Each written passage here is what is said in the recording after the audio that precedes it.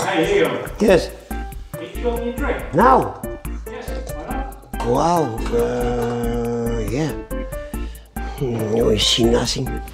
Wait a second. Uh, show me a trick.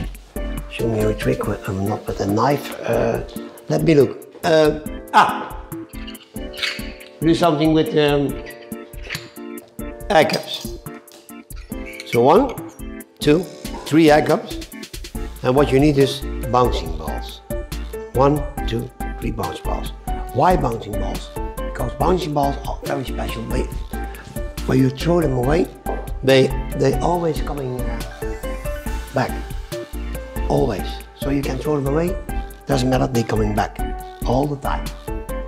So when you put the bouncing ball in your pocket, yeah, doesn't matter where in which pocket, because every time, I tell you before, bouncing balls coming back like this, or like this, or like this.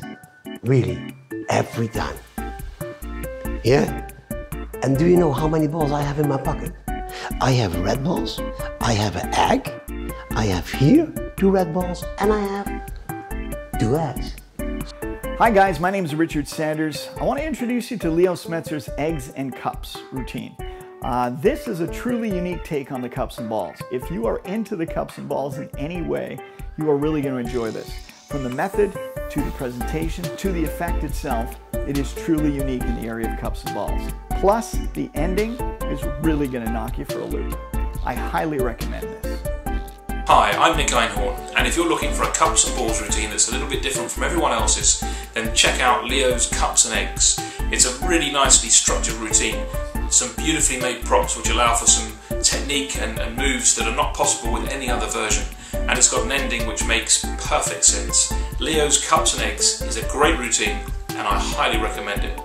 Check it out right now. I go further with my cooking. Bye bye.